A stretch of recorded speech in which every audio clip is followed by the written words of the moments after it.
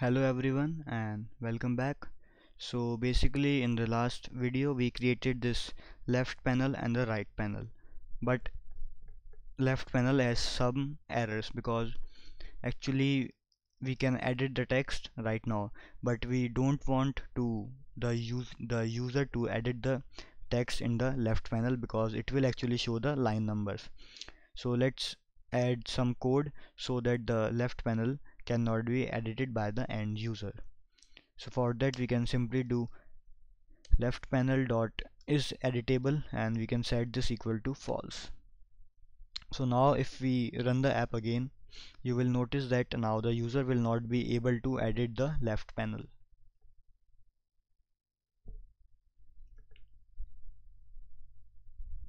So you can see that if we try to edit the right panel you can see that it can be easily done and if we try to click the left panel the user will not be able to click. This, this is because we have set the editable property to be false. So I think this one error has been fixed. Now the second error that we need to fix is we don't want to show the scroll bar in the left panel.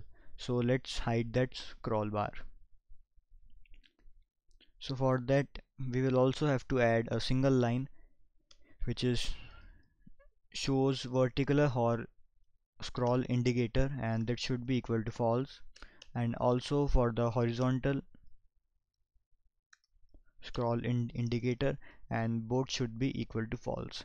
So what it will does is it will not show the scroll bar either horizontally or vertically. So this error has also been fixed. And now what we need to do is if we try to write some code in the right panel. You will notice that the left panel is not scrolling automatically. So basically we want some functionality so that the both the panels can be scrolled together.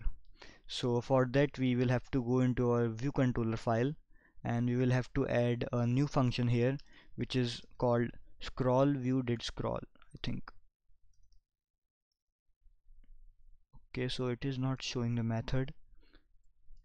So I think we will first need to conform to some protocols. So it is UI text view delegate.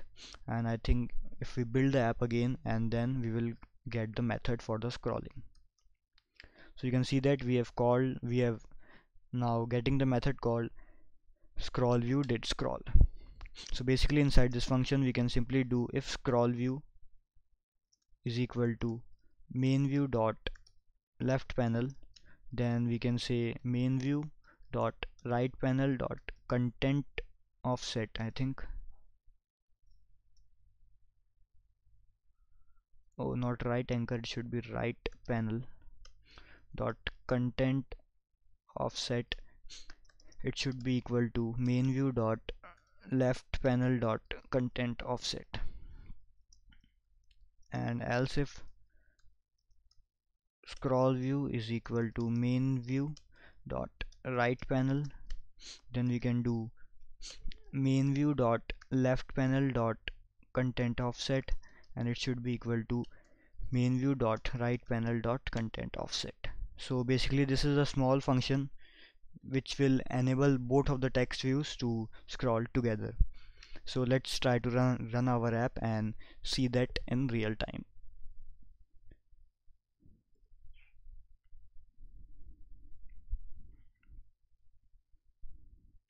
So this is the right panel.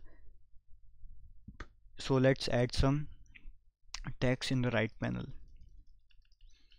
So you can see that we are at the bottom of the right panel and if we add some text you will know you will notice that the left panel will automatically scroll and one will be go above. Okay so it is not working. Okay I think because we forgot to set the delegate for both the text views. So in the in this function view did load we need to do main view dot left panel dot delegate and it should be self. And then main view dot right panel dot delegate and it should also be self. So let's run our app again. And this time our both the text views should scroll together. Okay so let's add some code. And you will notice that now the one has automatically scrolled upward. So you can see that if you scroll it down you can see that both the views are automatically scrolling. And you will notice that we are only getting the scroll indicator which is this at the right text view only. If we try to scroll from the left view it will not be shown. Okay? So we have achieved the functionality where we wanted both of the text views to be scrolled together. So I think we are done with setting up the view for our text editor in the next video we will start by automatically increasing the line numbers in the next panel and then we will add some more functionality like changing the text color and also the text size. So I will see you in the next video. Thank you